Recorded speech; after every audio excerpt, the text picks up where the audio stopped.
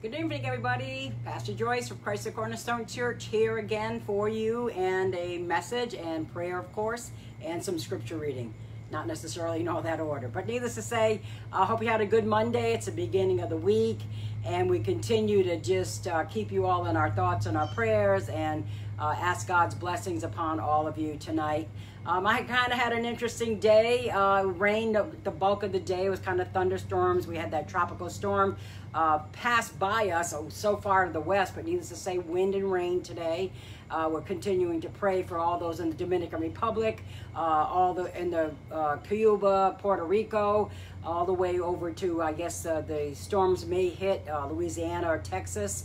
Uh, we certainly keep uh, everybody in our prayers and we continue to pray for so many things that are happening in our world today. So, uh, before we get to the complete prayer part of our night, um, as I said, it was a little interesting. I had a little project today. Um, last week, uh, I had to buy a different television. Mine uh, kind of had an accident, and consequently, I got myself a Fire TV so I could use, uh, you know, streaming and things of this nature I watch a lot of uh, Murder She Wrote and Columbo, some of the old uh, Hallmark movies, things like that that are on uh, Prime Video. So of course the Fire TV came in handy, and um, so I that's all good and well. It's all set up, all that fun stuff, and we have some uh, Echo Dots in the house. So we uh, we, we were gonna. Uh, utilize that, of course, because that's what the advertisement said on the box. So it's like easy setup. All you have to do is just attach your remote to the uh, dot that you have in your house and you can voice all your commands to the television and search for things and all that fun stuff. Not so much fun after all. Uh, technology can work, uh, but boy, we have to work it. And I spent a good portion of the day, mm, a couple hours, I would have to say, honestly, uh, trying to figure out how to make the foolish thing work, uh, to get the uh, pairing done and the uh, remote to the TV and then to the Echo Dot kind of thing, so I could just easy peasy relax and just tell the television what to do. not so much. But needless to say, um, I kept, as I was trying to set it up, I was getting so frustrated, I couldn't do it. And so, of course, I go to Google, uh, look those things out. How do I pair my Echo Dot to my uh, Alexa remote? Couldn't find anything. Uh, well, it said how to do it, but that wasn't how it worked at all. And every time I asked Alexa inside the house, she would always say, go to your Alexa app, which I did about 20 million times, it seemed. Uh, eventually went to YouTube, looked at a couple of YouTube videos, things of this nature. I mean, I just kept going, um, trying to figure this thing out. And if you know anything about me, I'm a little on the persistent side, uh, maybe stubborn side might be the a different term some people would use, but I call it persistence. But the funny part is I kept telling Becky, because uh, she kept saying, how long is it, was it going to take initially? And I was like, oh, it shouldn't be, you know, a few minutes. It should be maybe half an hour at the max. Yeah, right. Two hours later, I still hadn't got the foolish thing set up. But I kept going to her and saying, that's it.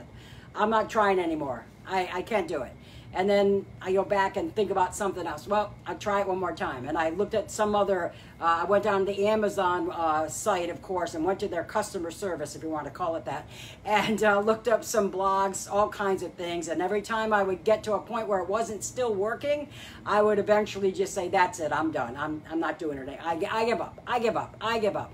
I must have said that, I don't know, a zillion times, 70 times 7 maybe. Uh, and Becky kept saying to me, that's what you keep saying. Just, you know, forget about it. It's not that important. I'm thinking that's true. I could obviously operate a remote control with, without having to talk to the television, right? But it was just frustrating the daylights out of me. Um, so, thus my persistent personality. I will have to tell you though, after about two and a half hours, I found the right spot somewhere. I found it on the internet of some steps to take, and lo and behold, turns out you have to use the Bluetooth part of your television because evidently Amazon, the Alexa app, um, uh, dot rather, is a Bluetooth uh, speaker. Never understood that concept. So, lo and behold, I was able to, yes, get those two paired up. And when I talk to my television and say, turn off Alexa, turn off the TV or turn on uh, Netflix or whatever I say to it, it actually works. How about that? So, point being, what's this all about? Why am I telling you all my sad story for the day or fun story, depending on how you look at it?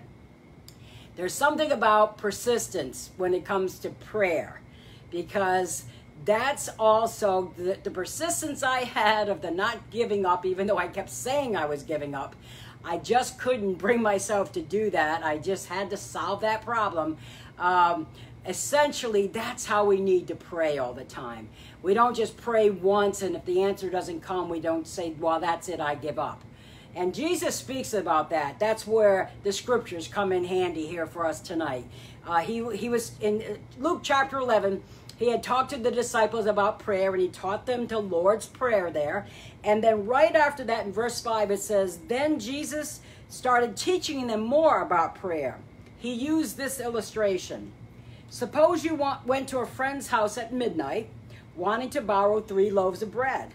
You would say to them, A friend of mine has just arrived for a visit, and I have nothing for him to eat. He would call out, that friend would call out from his bedroom, Don't bother me, right? I don't know about you, but I'm not going to knock on most friends' doors at midnight, but it's an illustration. The door is locked for the night and we are all in bed. Sounds about right. I can't help you this time. But I tell you this though he won't do it as a friend, if you keep knocking long enough, he will get up and give you what you want. So, not keep knocking, right? And I tell you, Jesus says this keep on asking, you will be given what you ask for. Keep on looking, and you will find. Keep on knocking, and the door will be opened. For everyone who asks receives, everyone who seeks finds, and the door is open to everyone who knocks. So the point is, what Jesus is saying here is listen, we have to ask. God is the one that's asleep. We think sometimes we're knocking on God's door in our prayer times and, and we're we're seeking answers to things or we're wanting a decision from God, guidance, direction, whatever it might be, or we want something important in our life that, that we've always prayed about and, and are just seeking God for that, that special someone, that special something, uh, whatever it might be, a problem that we have to solve, like getting your remote uh, able to be synced up to your Alexa Echo Dot. I don't know what it is. That's minor compared to some of the things I know we're praying for. But needless to say, the point is the same. Jesus is telling us all that everyone, no matter who it is, everyone who knocks on God's door, God will answer. Yes, we have to be persistent sometimes. Uh, sometimes it's a question of not the fact that whether God is willing to help us, but more of how much do we really rely on God? Are we going to only ask Him once and then just give up as though God is never going to answer us again? Or when we're seeking something, do we just like throw our hands up and say, well, I can't really have peace of mind, or I really can't have the loving kind of relationship I want with another person, or I can't be forgiven? Whatever it is that you're seeking, that's not what the scriptures tell us. Jesus is saying, when you pray, keep on asking, keep on believing that God's going to open the door, right time, right way, and what we have to do, it's more about us more than anything. I think it's not about God as far as God not wanting or holding back from us. It's us wanting something so much that we're willing to keep seeking it, keep looking for it, and we will keep finding it. And the relationship that we have with God is the relationship all of us need to keep seeking. Uh, and, and if you don't, don't always understand God, keep seeking in the Word of God. Keep asking other people about God uh, or, or the questions that you might have. Just keep knocking, and, and God will answer those questions as well. So that's a, kind of the uh, short and long story about persistence, how important it is in all of our lives, in the things that we do, in the things we want to change or have God change about us sometimes. Don't give up if you can't do something the first time, whatever it might be, or you can't change something. Keep asking God to help you. Um, I can tell you so many examples of people who have had addictions or problems or concerns, myself included, that didn't that seemed to linger but I kept asking. They kept asking, God, help me with this. And God did. And God had to put all the pieces of the puzzle together, send the right answer, and sometimes the right persons into our life to help those answers come to us, or the right circumstances to all get lined up. God knows what we don't know. But what we have to do is never give up on God. And so, as we continue to pray for the end of this pandemic, we're going to keep asking, we're going to keep knocking, we're going to keep seeking God's wisdom, God's guidance, God's healing, and especially God's peace of heart and mind in the waiting time. And while we're in the waiting, we can keep seeking that relationship with God, which is by far the most important thing we could ever have throughout our entire life journey. Let us pray. God, we thank you that you are always there listening to us, that even before we speak the words, you are ready to answer us, God. And we know, God, that sometimes that answers take longer and are more difficult or more complicated than we can even realize on our end of things. I know, God, all of us so often want something instantaneously and suddenly for it to happen. That impatience that all of us have God, it's more important, I, I suppose, to you and to us sometimes to have that persistence, to learn uh, perseverance, to learn to keep seeking, to learn that life without a struggle really just is no life at all because we never grow and change through that. We never we never learn what we need to learn in the process, God, especially tenacity and determination, which are so vital in all of our lives for all the time, God. So I ask you, Lord, that as we come to you in prayer again tonight, I ask you once again to please send down your healing touch upon our world, upon the people of the world, upon the hearts and the souls of all the people, God, that are suffering and are hurting or are afraid or feel alone or are struggling, God, in any way, shape, or form, God. I ask for your strength to come upon them. And for all of those that are seeking you, God, and knocking on your door, I know that they can find you because we can seek you and you are always right there. We just have to open our eyes and see you right there and feel you in our presence. So I ask a blessing upon everyone that's watching this night. I pray, God, again for any disturbances that are happening in our world, whether it's physical, emotional, spiritual, weather wise, or some of the unrest that's happening, God, uh, between people, Lord. I ask you, God, to Send your love down upon us. And as we pray to you, God, we're praying, expecting you, God, to solve all of the problems we can't solve on our own. We know to turn to you, God, for everything we need.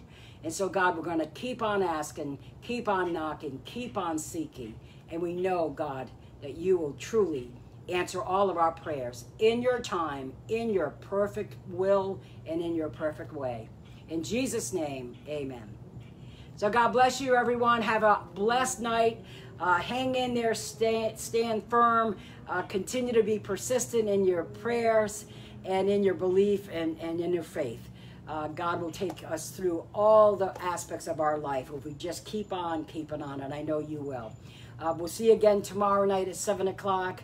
Remember, coming up this Saturday, uh, we're going to have a uh, virtual uh, revival, variety uh, day. Uh, it's going to be start at 9.30 in the morning, going to go about to 6 o'clock.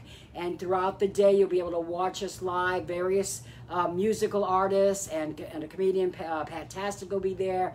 And a lot of our folks within our church will be providing music and praise and messages to continue to lift up your hearts and your souls.